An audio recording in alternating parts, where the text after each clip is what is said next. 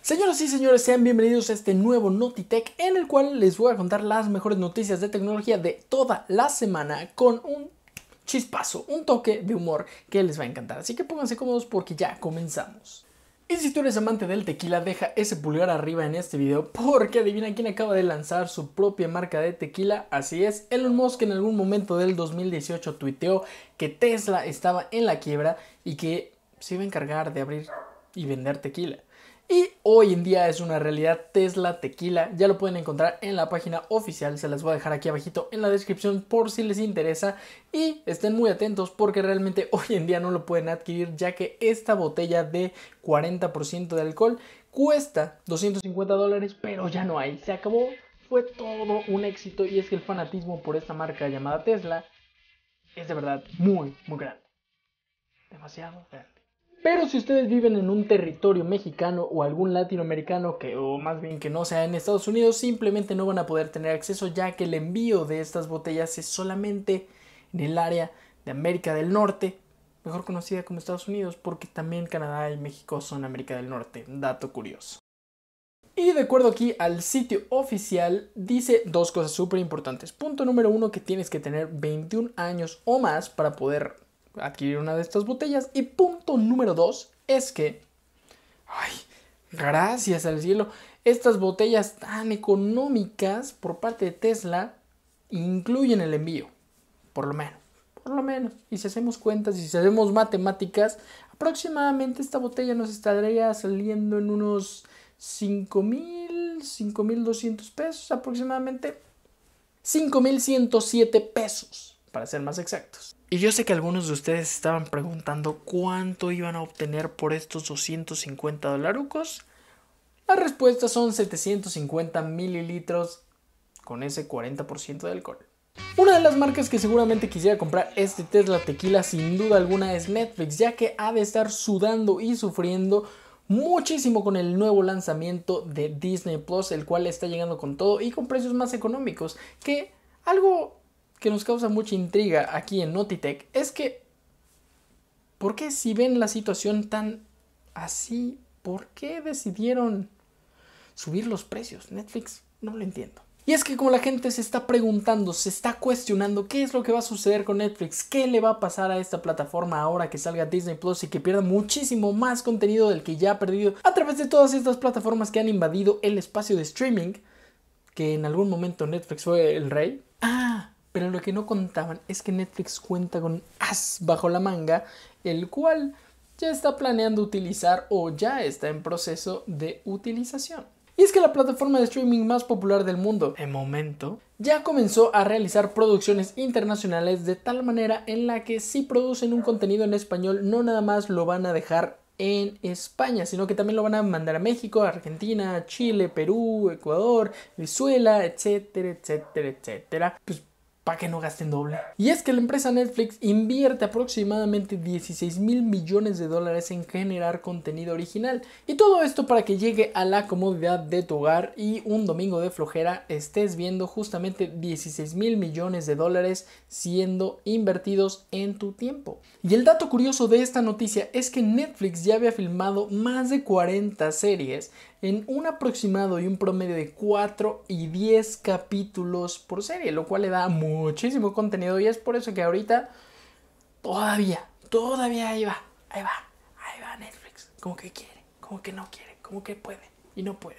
Pero ahora viene Disney Plus. Otros que sin duda alguna van a necesitar más de uno o dos o tres tragos de Tesla Tequila, sin duda alguna es la gente de Samsung o la gente de Android en general, ya que el canal PhoneBuff hizo una comparativa entre el nuevo iPhone 12 Pro versus el Note 20 Ultra de Samsung y los resultados a pesar de que en el papel el iPhone 12 Pro tiene 6 GB de RAM y el Note tiene 12 GB de RAM, ¿quién crees que ganó? Déjalo aquí en los comentarios. Y para toda la gente de Android que seguramente está entre lágrimas, les paso también un Tesla Tequila. Y déjenme decirles que este Galaxy Note 20 Ultra tiene un costo inicial de 1.300 dólares. Y por otro lado, el iPhone 12 Pro tiene un costo de 999 dólares. Entonces, ahora, ¿quién es el carero? los smartphones. Y si estas noticias continúan así, es muy probable que esto termine en fiesta de Tesla Tequila. Y es que también Epic, por su lado, y con su juego Fortnite, está planeando, está planeando que ahora ya no sea gratuito. O sea, además de que está ahorita en una batalla en juicio contra Apple y contra Google, ya que su juego ahora no está disponible en dos de las más grandes plataformas para juegos móviles, Ahora lo que ellos quieren es cobrar una suscripción de manera mensual, la cual podría rondar entre 4.99 dólares y 19.99 dólares por ahí y si hacemos como una operación matemática velozmente, más o menos podrían estar cobrando 10 dólares mensuales para que puedas tener diferentes beneficios como lo puede ser el pase de batalla mensual, algunos skins, etcétera, etcétera, etcétera. Pero si te preguntas, ¿cómo es que sabemos esta información? Y es que enviaron una pequeña encuesta a algunos de sus jugadores justamente preguntándoles cuánto estarían dispuestos a pagar por una suscripción de manera mensual.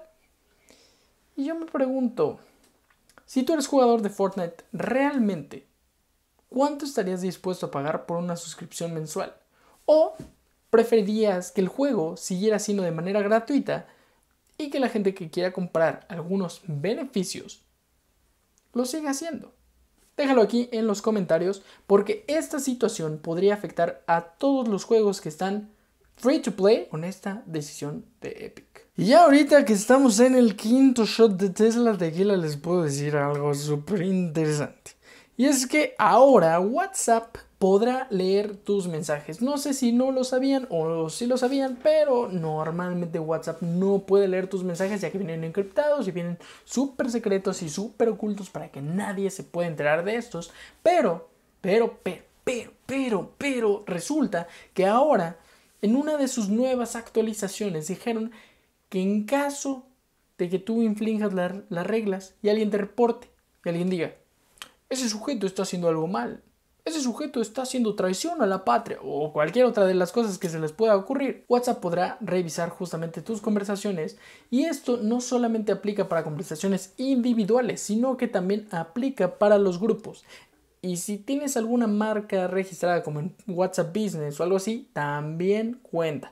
Entonces, si algún usuario se está quejando de que le estás haciendo spam de tus productos, realmente te puedes meter ahora sí en una cuestión ahí medio extraña con WhatsApp y podrían estar checando tus mensajes, pero todavía no se dice si será de manera permanente o será momentánea.